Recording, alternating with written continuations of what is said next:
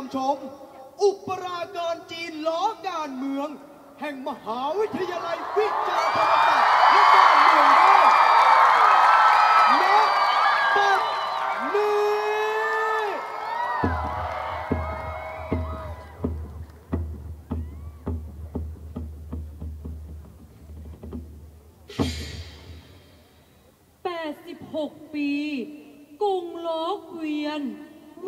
มุนไป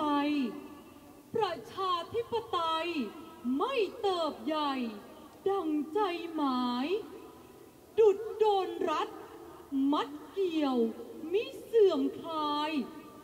จนสุดท้าย การเมืองไทย มิอาจเดิน คนหนึ่งมอง ความมั่นคงเป็นสำคัญ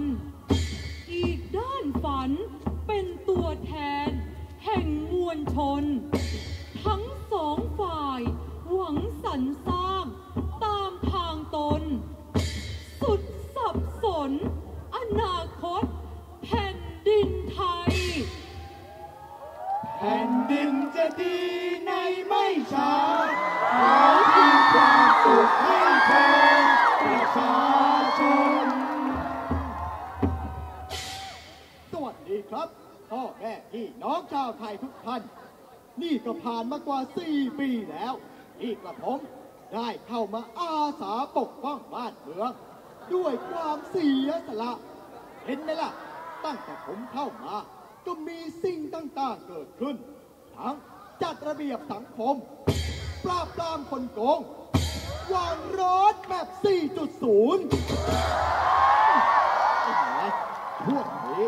ผมและทีมงานต่างก็ไม่ได้พัก เพราะต้องลงพื้นที่หาเสียง เอ้ย ลงพื้นที่ฟังเสียงประชาชน พ่อแม่พี่น้องก็ให้การตอบรับเป็นอย่างดีอะวันนี้ก็มากันเยอะแยะ ไหนใครมีอะไร ว่ามา ว่ามา ท่านคะท่านคะว่าไง ตอนนี้กี่โมงแล้วคะ ผมไม่รู้ ผมให้นาฬิกาเพื่อนยืมไปหมดแล้ว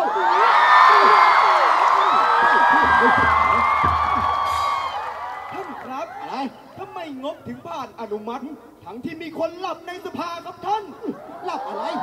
ไม่มีกระพริบตาทั้งนั้นใกล้จะนอนให้ไปนอนที่บ้านนู่น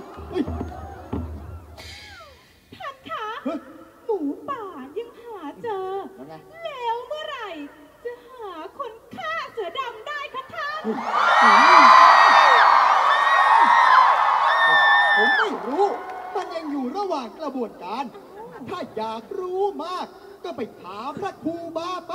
คนลุกเลยค่ะ ท่านครับย่างไงนี่ก็ผ่านมาสี่ปีแล้ว เมื่อไหรจะได้เลือกตั้งครับท่าน นี่ คุณว่าคำถามเนี่ย มันน่าตอบไหมเป็นผมผมไม่ถามนะมีมารยาทนิดเถิงเอ้ยพอพอพอไม่ต้องถามแล้ว ไม่อยากพูดเยอะ เจ็บคอท่านผู้นี้หรือ ที่จะนำพาประชาธิปไตย ไปสู่หนทางใหม่ ความหวังของข้าจะเป็นไปได้จริงหรือไม่ คงต้องรอดูกันต่อไป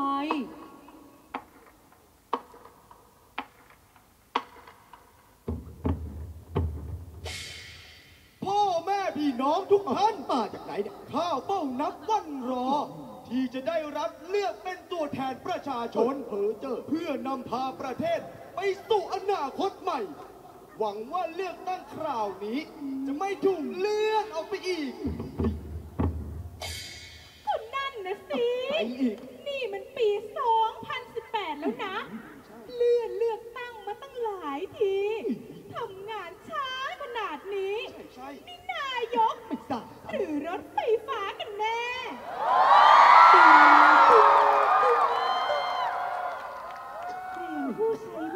ทุกท่าน ประชาธิปไตยกำลังถูกปรับปรุง ใช้เวลาไม่เกิน 4 ปี Please mind the gap for election อะไรกันนักหนาแซะกันเข้าไปร้ายๆเดี๋ยวก็โดนต่อยปากอุ๊ยถ้าว่างมากทำไมไม่เอาเวลาไปอ่านหนังสือ บ้านเมืองจะได้พัฒนา ดูอย่างข้าอ่าน 800บรรทัดต่อวันอุ๊ยอ่านหนังสือขนาดนั้น ยังได้แค่นี้ อะไร ยุทธศาสตร์ชาติ 20 ปี จะหน้า หน้า อะไรตกอยู่กันแค่ไหนโอ้ยรัฐบาลโป๊ะแตกมิงอะไหนบอกขอเวลาอีกไม่นานแต่วางแผนไว้ 20 ปี ใช่คงอยากให้ นายกมั่นคงพักพวกมั่งคั่งคิดอำนาจยั่งยืนลุยสามหาวแผนนี้มีไว้เพื่อไม่ให้คนอย่างพวกเจ้า ออกมาสร้างความวุ่นวาย หากไม่พอใจก็หนีตามพี่น้องตระกูลชินไปไอ้พวกนี้ก็ตามนักการเมืองกั้งฉินโกงกินได้รู้จักพอหุบปากแผ่นดินนี้เป็นของประชาชนทุกคนใช่ไม่ใช่ของคนที่เอาแต่พรานงบประมาณชาตินี่นะสืบอำนาจเผด็จการโอ้ยทรราชนักแผ่นดินเส้ นานสองทางมิอาจผ่านพบถ้าจะรบเพื่ออุดมการต่างทางต้น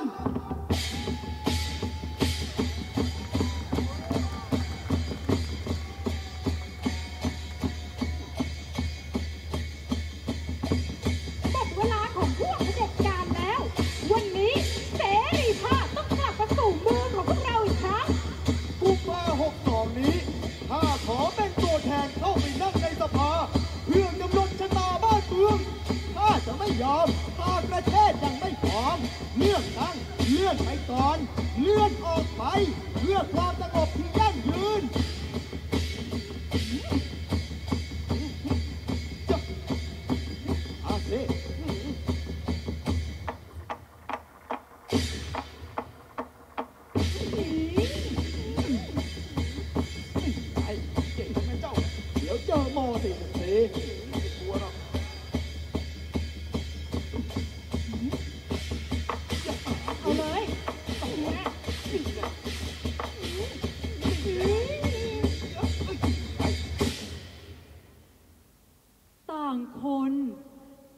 ความคิด ต่างอุดมการ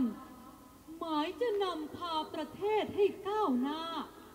ตามวิถีทางของตน เส้นทางใดกันแน่ ที่เราสมควรจะก้าวเดิน จะเป็นเส้นทางใหม่แห่งการเปลี่ยนแปลง หรือจะต้องกลับเข้าสู่วัฏจักรเดิมอีกครั้ง 27 เลือกตั้งผ่านไป 13 รัฐประหารล่วงเลย แต่เราก็ยังไม่สามารถพบกับทางออกที่แท้จริง ท้ายที่สุดแล้ว ประเทศไทยต้องการสิ่งใดกันแน่ ใครอยากได้นักการเมืองใสสะอาด ไม่ได้ดีแต่ปาก ขอให้ยกมือขึ้น ใครอยากได้รัฐบาลที่ฉลาด ไม่ได้ใช้แต่อำนาจ ขอให้ยกมือขึ้น